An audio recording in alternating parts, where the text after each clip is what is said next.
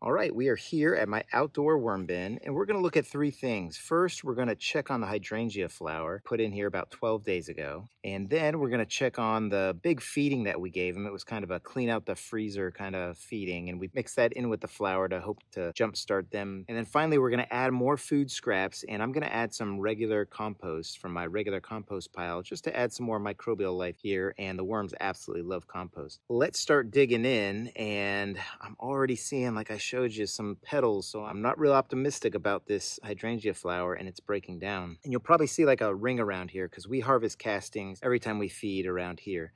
So let's kind of dig in. Now we added some water to try and help the breakdown process. And I was talking to my mom who gave me that flower and she said that she didn't think that was a natural color of it and that maybe they used some dye. So that could be another issue with why that flower wasn't breaking down. But we did add a lot of bedding to this because i just saw so many castings the last time we fed and the worms are all in here. When we were pulling out the castings i didn't see a lot of worms on the edge so i think they're in here and the temperatures have gotten just a little bit cooler and wow just a lot of worms right into here. So let's keep digging in and whoa right in oh it's it's a little slimy. Must be that feeding. But wow i just think i put my hands in the middle of a worm ball. Look at all of them. Oh my gosh they are really going through that feeding that i gave them. This is fantastic. Look at them and you can tell really well that they're red wigglers from that yellow to orange tint on the end of their tail there.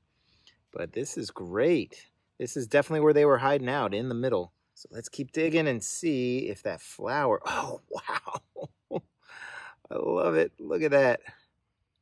I was a little discouraged when I came in here to harvest the castings from the side because I thought maybe they had escaped or their population decreased, but they were 100% getting into this feeding in the middle. Starting to see the flower down here. And I think, I think we've got some action with it. Let's look and pull it out. And I would say, I don't know, the outside kind of got some action, but inside there's still a little bit more. So it was laying down like this well just worms all over my hands. It was laying down like this.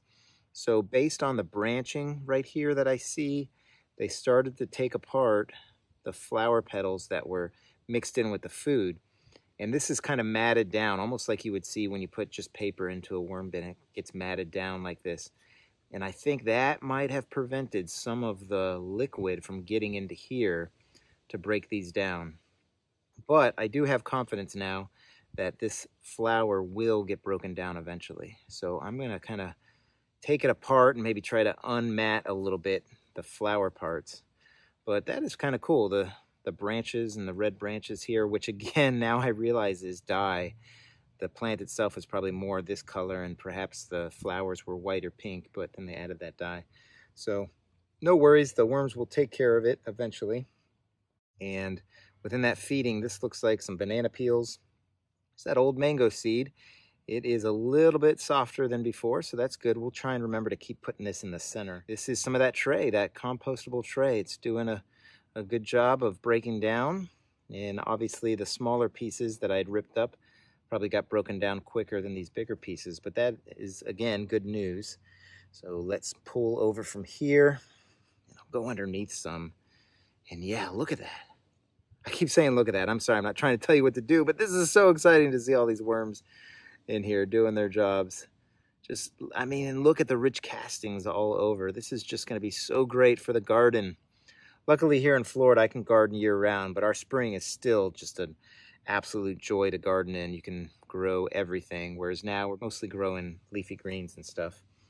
Let me come in from over here, and I'll just kind of turn it over, aerate it out wow, you're, I mean, this is, you're just getting to see so many worms. This is great. This makes me happy.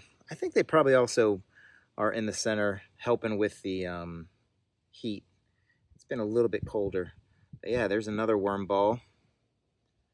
And I know this, it may look like it's the same worm ball, but I'm pulling from down and around the sides, bringing it up. But Wow, look at that.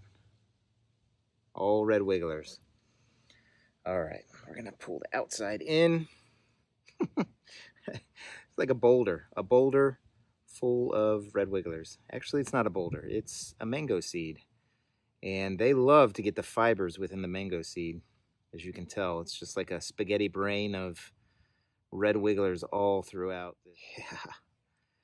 Oh yeah, just unbelievable castings.